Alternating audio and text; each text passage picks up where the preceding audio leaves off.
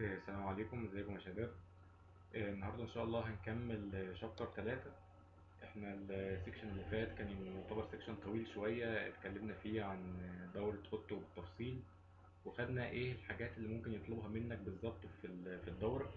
وقلنا إن اللي فاضل في ال chapter ده مسائل دي dual وديزل وهم ما فيهمش أفكار إيه، جديدة أو مختلفة عن اللي إحنا خدناه ال section اللي فات لكن حابين إن إحنا نحل برضو آه، مثالين كده بحيث الناس لو كانت بدأت تحل وعندها مشاكل أو مش عارفة تحل الفكرتين دول يبقوا برضو آه، عندكم فكرة عنهم آه، آه، قبل الامتحان تحديدا.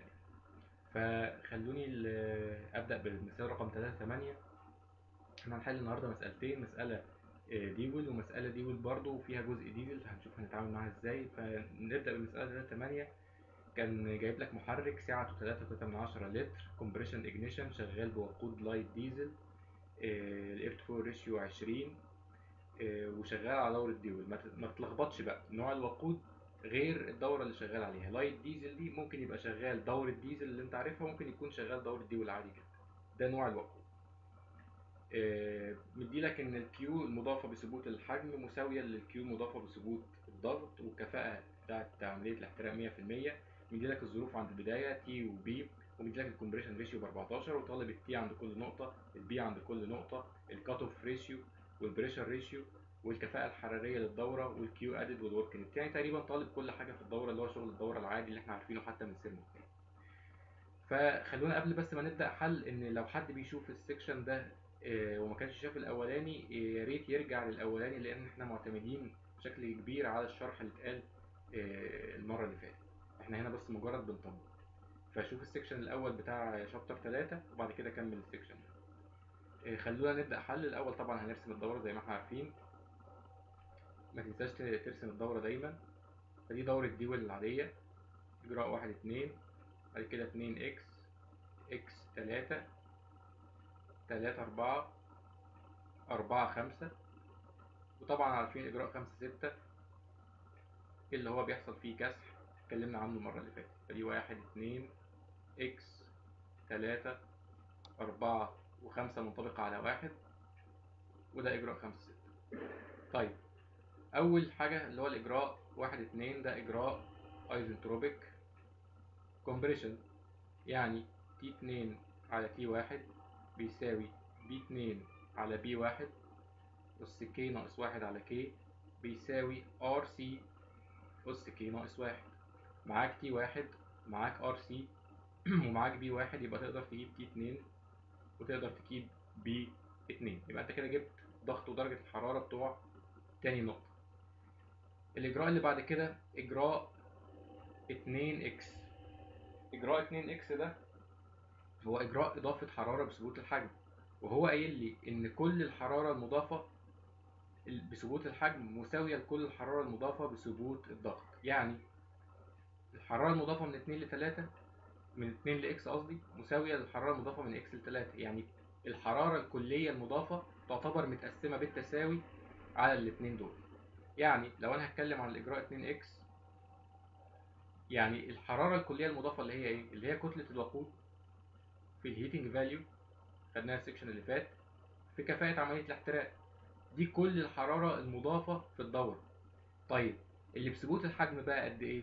نصها لأن هو قايل إن بثبوت الحجم بيساوي اللي بثبوت الضغط. فيبقى نص كمية الحرارة الكلية مساوي ل M mixture CV TX ناقص T2 وكنا خدنا ال section اللي فات علاقة بتربط ما بين الاتنين دول عشان نضيع M mixture مع بعض. يا ريت الناس تراجعها. كانت واحد ناقص XR لو كان مديلك XR في المسألة على واحد زائد air to fuel ratio في ال M mixture Q heating value الكفاءة الحرارية الكفاءة كفاءة عملية الاحتراق في M mixture CV TX ناقص T2 هتلاقي ال M mixture راحت مع ال M mixture ال XR بصفر لأنه مش مديلك عنه أي معلومة في المسألة ال air to fuel ratio معاك ال heating value يا إما هيبقى مديلك في الامتحان يا إما المفروض معاك جداول بس في الأغلب هتبقى موجودة في الامتحان وده ممكن تاخدها ب 45000 الكفاءة ال- بتاعة عملية الاحتراق 100% هو قايل لك عليها. ال CV عارفين قيمتها. و T2 انت لسه جايبها في الخطوة اللي فاتت يبقى المجهول الوحيد عندك TX يبقى انت كده جبت TX طيب أجيب PX إزاي؟ خلاص أنا عارف ان الاجراء ده ثبوت حجم. يعني أقدر أقول ان TX على T2 بيساوي PX على P2 و T2 و P2 انت جبتهم الخطوة اللي فاتت وكذلك TX يبقى من هنا تقدر ببساطة تجيب PX وما ان الإجراء ده اللي بعده. ثبوت ضغط ف P3 برضه بتساوي PX. يبقى أنت كده جبت الضغط بتاع النقطة اللي بعدها كمان طيب عشان أجيب درجة الحرارة بنفس الطريقة الإجراء X3 ده إجراء إضافة حرارة بس بثبوت الضغط. وأنا عارف ان كمية الحرارة المضافة بثبوت الحجم مساوية لكمية الحرارة بثبوت الضغط اللي هي بتساوي نص الكمية الكلية. يعني نفس اللي عملناه المرة اللي فاتت في الخطوة اللي قبلها. بيساوي CP بقى المرة دي مش CV في T3 ناقص TX طبعا برضو هتشيل ال M دوت فول وتحط واحد ناقص XR على واحد زائد air to fuel ratio في ال M mixture هنا طبعا في M mixture ودول هيروحوا مع بعض. هتلاقي إن المجهول الوحيد اللي عندك TX جت الخطوة اللي قبلها يبقى أنت كده جبت T T3 تمام كده؟ يبقى إحنا كده جبنا P2 P آه و T2 وجبنا TX و PX وجبنا P3 و T3 يبقى نخش على الإجراء اللي بعده اللي هو 3 4 الإجراء اللي بعده 3 4 ده إجراء expansion isentropic expansion كان بيقول إيه؟ إن T3 على T4 بيساوي P3 على P4 اس K ناقص 1 على K بيساوي V4 على V3 خد بالك بقى اس K ناقص 1 خد بالك بقى إن الموضوع هنا مختلف عن أوضته شوية. دي برضو من معلومة قديمة من thermo 2 إن هنا مش RC زي إجراء ال compression لأن ما عادش ال V4 أو ما عادش ال V3 آسف مساوي لل V2 تمام؟ فلما هتيجي تشيل كل حجم من دول وتعوض آه، بدرجات الحرارة المقابلة له علشان تجيب علاقة ما بين الاثنين دول هتلاقي إنها بتساوي ال RC اللي هي ال compression ratio على ال cut off ratio اللي هي البيتا وال cut off ratio دي اللي هي عبارة عن إيه؟ نسبة القطع يعني إيه نسبة القطع؟ يعني نسبة قطع إضافة الوقود في إجراء ثبوت الضغط. يعني أنا في إجراء ثبوت الضغط ببدأ أضيف الحرارة من X وبفضل أضيف الحرارة على طول الإجراء ده لحد ما هوصل عند نقطة 3 فنقطة 3 بالنسبة لي هي نقطة قطع إضافة الوقود. فنسبة القطع دي هي النسبة ما بين T3 إلى TX وهو كان طالبها أصلا في المسألة. فالبيتا دي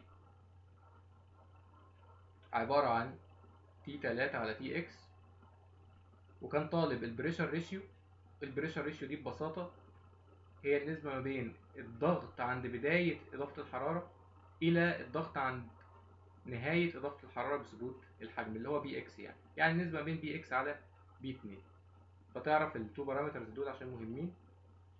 PX على P2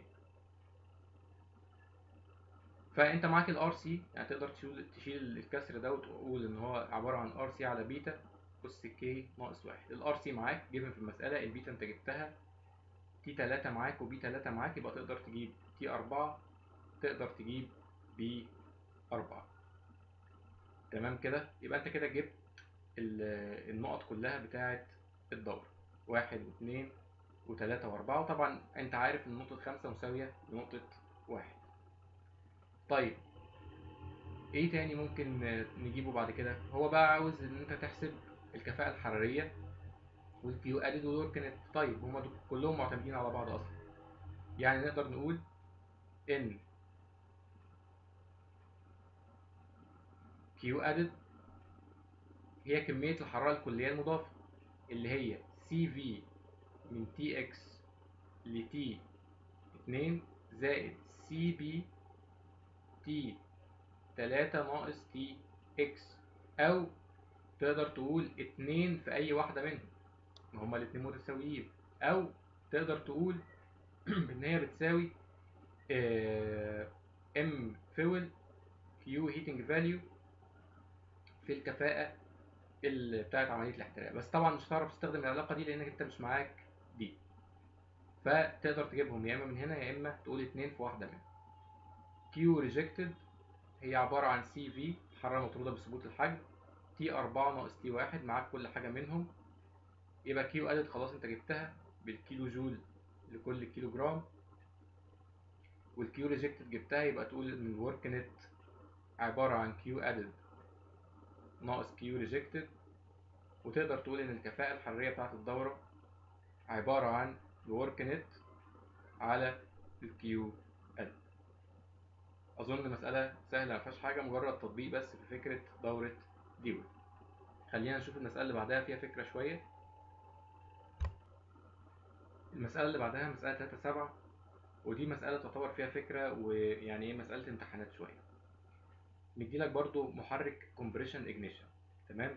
compression ignition ديت مهم إن أنت تاخد بالك منها لأنها بتحصرنا في حاجتين بس.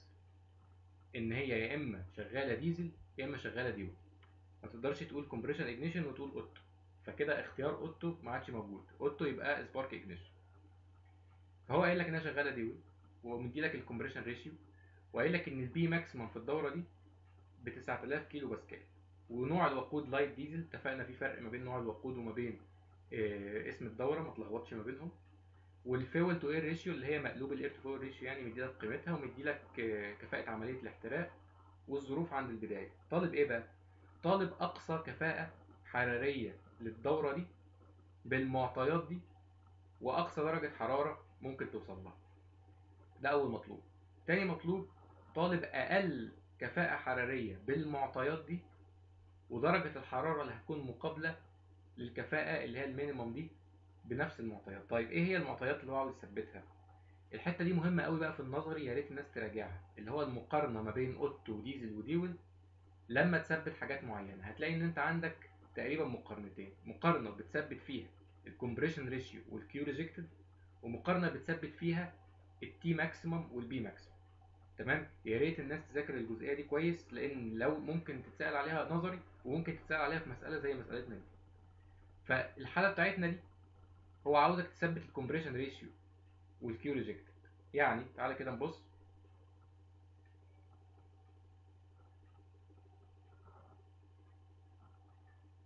لو ده ال P V diagram بتاعنا ممكن ترسم على ال T S براحتك.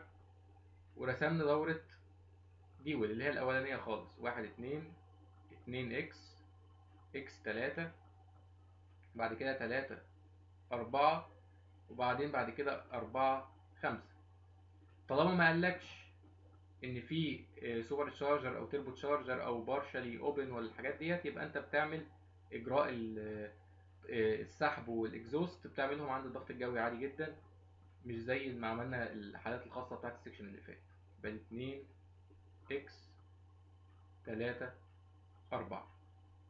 لو أنا ثبت ال compression ratio يعني شغال ما بين نفس الحجمين دول وثبت ال Q rejected يعني الإجراء أربعة خمسة ده فمعنى كده إن لو أنا شغال ديزل لازم يبقى إجراء إضافة الحرارة بتاعي بالشكل ده.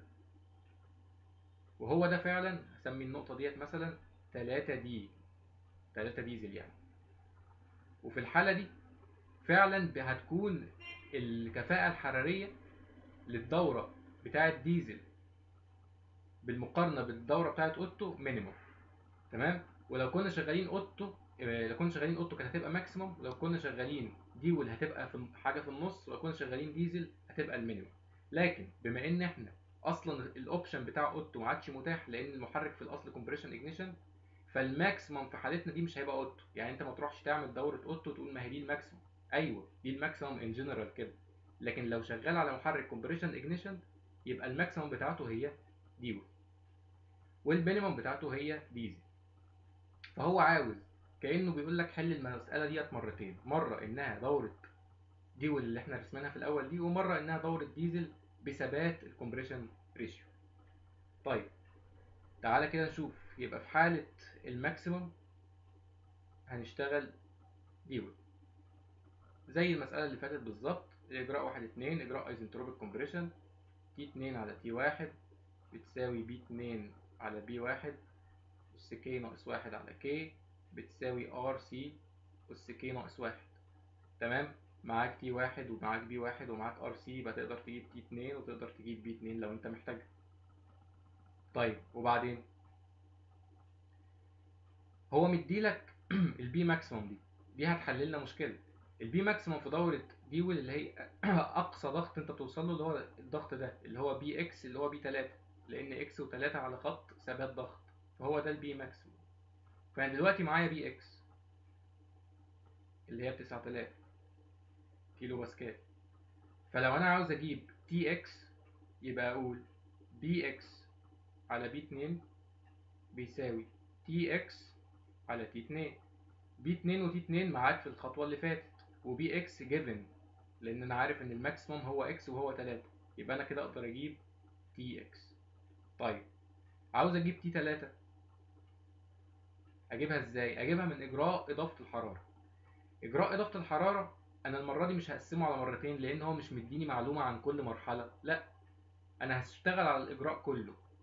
يعني كمية الحرارة الكلية المضافة اللي هي عبارة عن M dot fuel في ال heating value في كفاءة عملية الاحتراق.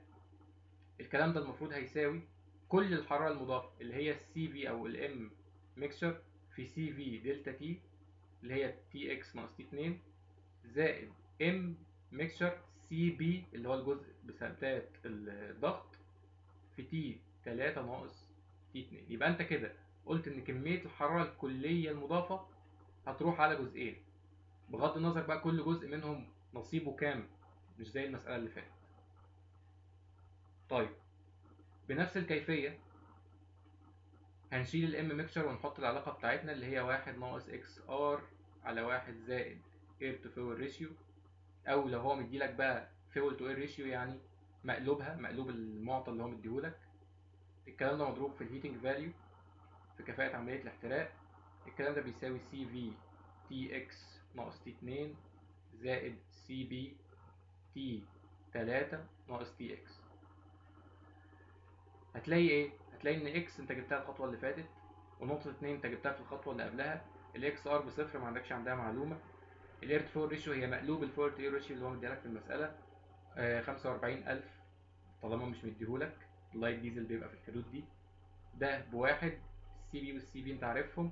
يبقى المجهول الوحيد اللي عندك هو T 3 في الحالة دي يبقى انت كده جبت T 3 خد بالك للي ما يعرفش ال CV بنشتغل بال value دي لأن إحنا بنعتبره mixture وال CP بال value دي.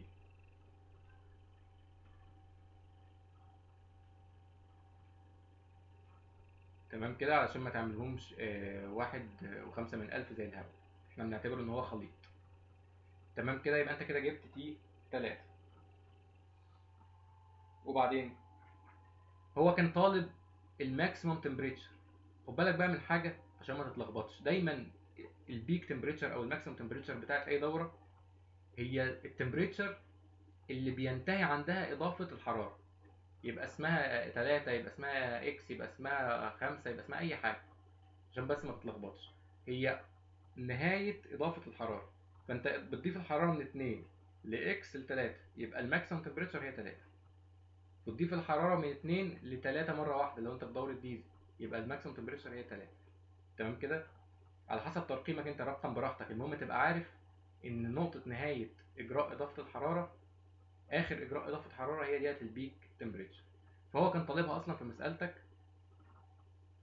اللي هي T 3 يبقى أنت كده جبت ال peak temperature طيب عشان نجيب الكفاءة محتاجين إن إحنا نخش على الإجراء اللي بعده اللي هو 3 4 T 3 على T 4 تساوي P 3 على P 4 أس K ناقص واحد على K بتساوي زي ما اتفقنا المسألة اللي فاتت RC على beta أس K ناقص واحد. والبيتا إحنا عارفين اللي هي ال cut off ratio اللي هي T 3 على TX طيب معاك P 3 ومعاك T 3 ومعاك ال ratio دي كده كلها يبقى انت كده جبت T 4 و P 4 تقدر تقول إن ال Q rejected بتساوي CV T أربعة ناقص T واحد.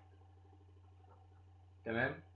وال Q added انت جبتها قبل كده بس تعال نكتب قانونها تاني. Cv T X ناقص T اتنين زائد Cp T تلاتة ناقص T X يبقى علشان تجيب الكفاءة هتقول إنها بتساوي work net على ال Q added أو هي هي لو قلت واحد ناقص Q rejected على Q added طبعا دي هتكون ال maximum بتاعت ال condition ده. يبقى انت كده جبت أول مطلوب. المطلوب اللي بعده إن انت عاوز تجيب